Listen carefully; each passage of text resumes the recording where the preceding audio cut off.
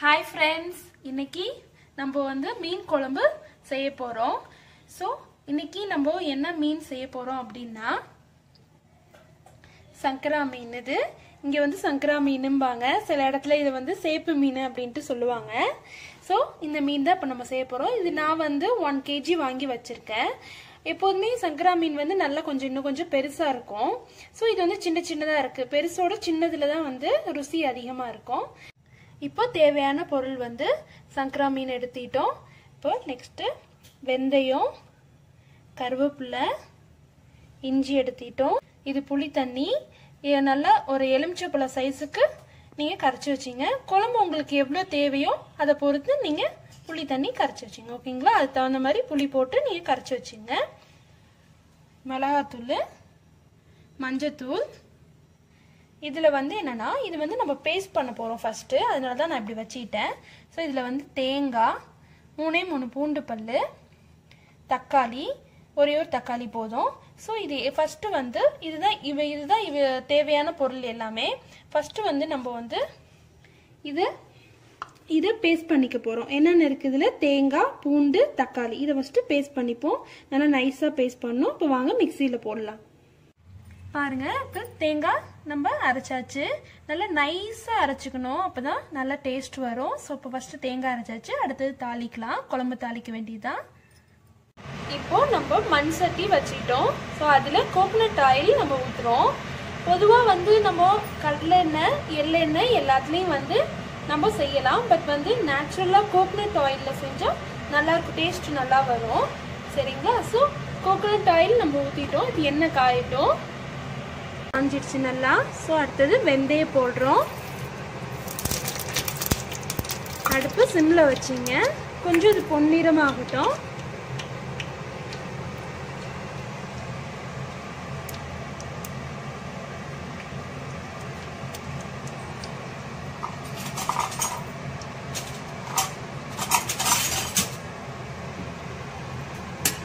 பொன்னிறமாயிட்டு அடுத்தது வெங்காயம் போடுங்க.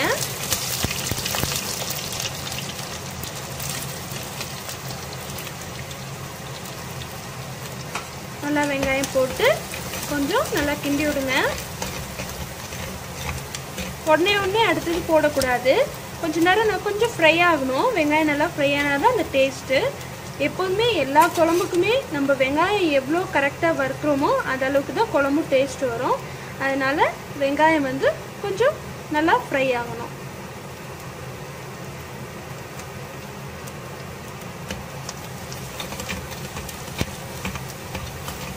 பாருங்க. நல்லா ஆனியன் நல்லா ஃப்ரை ஆகிட்டு இந்த மாதிரி சிகப்பாக வரணும். அப்போ தான் நல்லா டேஸ்ட்டாக இருக்கும். இப்போ அடுத்தது நம்ம பேஸ்ட்டு தேங்காய் பேஸ்ட் பண்ணி வச்சுருந்தோம் இல்லையா? அது ஊற்றிக்கணும் ரொம்ப ஈஸியாக இருக்கும். ரொம்ப ஈஸியான குழம்பு. கொஞ்சம் சிம்பிளாக வைக்கலாம். நம்ம ரொம்ப வேறு வேறு ஸ்டைல் நிறைய ஸ்டைல் இருக்குது பட் இது வந்து கொஞ்சம் சிம்பிளாக சீக்கிரமாக வைக்கக்கூடியது. இப்போ நல்லா நல்லா தேங்காய் போட்டு நல்லா கிண்டிங்க.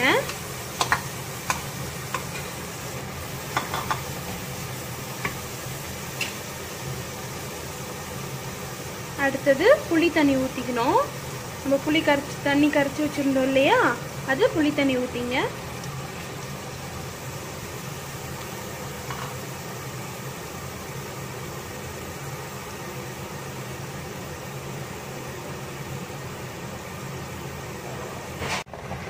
இப்போ நல்லா கிண்டி விட்டுங்க. புளி தண்ணி தேங்காய் பேஸ்ட் ஊற்றியாச்சு புளி தண்ணி ஊற்றியாச்சு இப்போ அடுத்தது மிளகாத்தூள் போடுறோம் மஞ்சத்தூள்.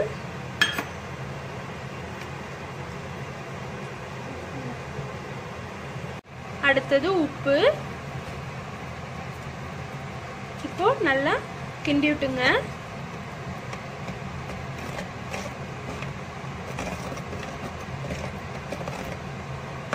பாருங்க இப்போ நல்லா கொதிக்குது. இப்போ கொஞ்ச நேரம் மூடி வச்சிருப்போம். நல்லா அந்த வாசனை போற வரையும் நல்லா மூடி வைக்கணும். இப்போ கொஞ்சம் கொதிச்சுட்டு நல்லா உப்பு காரம் எல்லாம் பார்த்துங்க உப்பு காரம் புளி எல்லாம் கரெக்டாக இருக்கா பார்த்துங்க இப்போ நம்ம தண்ணி ஊற்ற போகிறோம் அதாவது குழம்புக்கு கொஞ்சம் தேவையான தண்ணி ஊற்றிட்டா நல்லா எல்லாம் வெந்து மீன் போடுறதுக்கு கரெக்டாக இருக்கும். அதுக்கு தண்ணி ஊற்றிட்டோம் அடுத்தது இஞ்சி.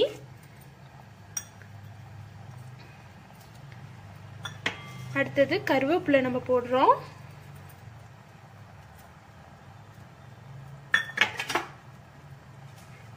அடுத்து பச்சை மிளகா. இப்போ எல்லாம் நம்ம போட்டாச்சு. நல்லா கிண்டி விட்டுட்டு தேவையான தண்ணி நல்லா ஊற்றிட்டு இப்போ நல்லா கொதிக்கட்டும். கொதிச்ச பிறகு தான் நம்ம மீன் போட போகிறோம் கொதிக்கிற வரையும் நல்லா மூடி வைங்க.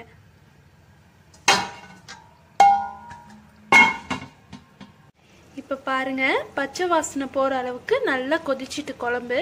இப்போ நம்ம அடுத்தது மீன் போட போகிறோம் மெதுவாக போடணும்.